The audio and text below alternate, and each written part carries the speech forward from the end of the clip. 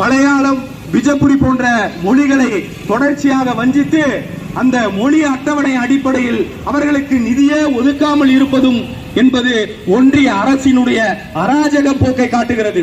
அது மட்டும் இல்லாமல் தமிழ்நாட்டில் இருந்து செல்லக்கூடிய நாடாளுமன்ற உறுப்பினர்கள் ஒரு கேள்வியை எழுப்பினால் நாடாளுமன்றத்தில் தோழர்களே இந்தியில் பதில் சொல்கிறார்கள். நாடாளுமன்றத்தில் புதுமொழியாக ஆங்கிலம் இருக்கிறது. இந்தியாவிற்கென்று ஒரு புதுமொழி கிடையவே கிடையாது. இந்தியாவிற்கென்று ஒரு அலுவல் மொழி கிடையவே கிடையாது. அந்த சூழலில் அனைத்து மொழிகளும் சமமாக பாதிக்க வேண்டிய இந்த ஒன்றிய அரசு அமித்ஷாவினுடைய பூதுகுழலாக இருக்கக்கூடிய இந்த மோடி அரசு தொடர்ச்சியாக தமிழ்நாடு மட்டுமல்லாமல் அனைத்து மாநிலங்களுக்கும் ஒரே தேர்தல். அனைத்து துறைகளுக்கும் ஒரே மாதிரியான உடை. ஒரே மொழி என்று அனைத்திலும் ஒன்று ஒன்று ஆக்கக்கூடிய இந்த த- இந்த ஒன்றிய அரசை கண்டித்து தமிழர் தலைவர் ஆசிரியர் அவர்கள் தான் கேள்வி கேட்டார். அனைத்தையும் ஒரே நாடு ஒரே மொழி ஒரே உணவு ஒரே உடை என்கிறாயே. உன்னால் ஒரே ஜாதி என்று சொல்ல முடியுமான்னு கேட்ட ஒரே தலைவர் தமிழர் தலைவர் ஆசிரியர் தான்.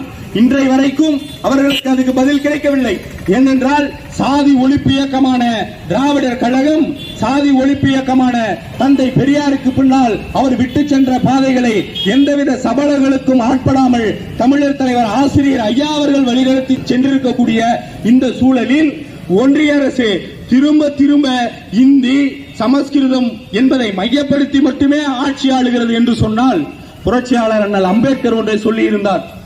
இந்தியா இந்து மதத்தால் உடைபடும் உடைந்து சுக்குநூறாகும் என்றார். பெரியாரினுடைய அந்த போராட்ட அறிவிப்பை கேட்டு எல்லா மக்களும் போராட்டத்தில் ஈடுபடுத்தினார்கள். இளைஞர்கள் மாணவர்கள் என்று அனைவரும் போராட்ட களத்திற்கு வந்தார்கள் தோழர்களே.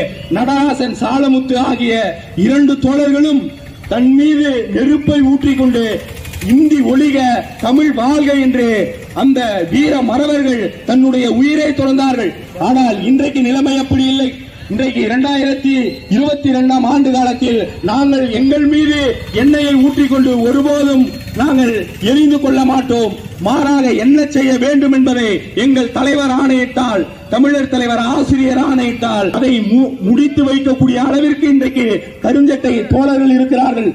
இந்தி வீழ்ந்து தமிழ் மலர்ந்து சமஸ்கிருதம் ஒளிந்து ஆதிக்கமற்ற பொருளாதார சுரண்டலற்ற பொது உடைமை சமுதாயம் படைத்திட வேண்டி பூரண தமிழ் சுதந்திர தனித்தமிழ்நாடு கேட்டார். பெரியார் கேட்டது தனித்தமிழ்நாடு அல்ல பூரண சுதந்திர தனித்தமிழ்நாடு அந்த பூரண சுதந்திர தனித்தமிழ்நாடு என்பதற்கு பெரியார் அழகான விளக்கம் சொல்கிறார். தமிழ்நாட்டிற்கு சமுத்திரம் இல்லையா? தமிழ்நாட்டிற்கு நிலம் இல்லையா? தமிழ்நாட்டிற்கு கல்வி இல்லையா? தமிழ்நாட்டிற்கு வேலை வாய்ப்பு இல்லையா? கனிமை வளம் இல்லையா? இல்லை இந்த மாணவர்கள் இளைஞர்களுக்கு திறமை இல்லையா? எங்கோ டெல்லியில் இருந்து ஆண்டு கொண்டிருக்கிற உனக்கு ஒன்றிய அரசை பார்த்து பெரியார் ஆயிரத்தி தொள்ளாயிரத்தி முப்பத்தி எட்டில் சொல்கிறார் தோழர்களே எங்கோ இருக்கிற டெல்லியில் உட்கார்ந்து கொண்டு நீ என்னை ஆட்சி செய்கிறாய் என் மீது உன்னுடைய மொழியை திணிக்கிறாய் என்றால் எனக்கு பின்னால் வரக்கூடிய தோழர்கள் நான் அமைதியாக அகிம்சை வழியில் போராடி சென்று விட்டேன். ஆனால் எனக்கு பின்னால் வரக்கூடிய தோழர்கள் அமைதியாக இருக்க மாட்டார்கள். போராட்டத்தை எப்படி கொண்டு செல்வார்கள் என்றால் உங்களுடைய கழுத்தில் கத்தி முனையில் வைத்து தனித்தமிழ்நாடு கேட்பேன் என்று சொல்லிய தந்தை பெரியார் அவர்களின் வாக்குக்கு இணங்க இன்றைக்கு நீங்கள் இந்த ஒன்றிய பிஜேபி அரசு அந்த நிலைக்கு கொண்டு வந்து விடுமோ என்கின்ற பயம் எங்களுக்கும் இருக்கிறது.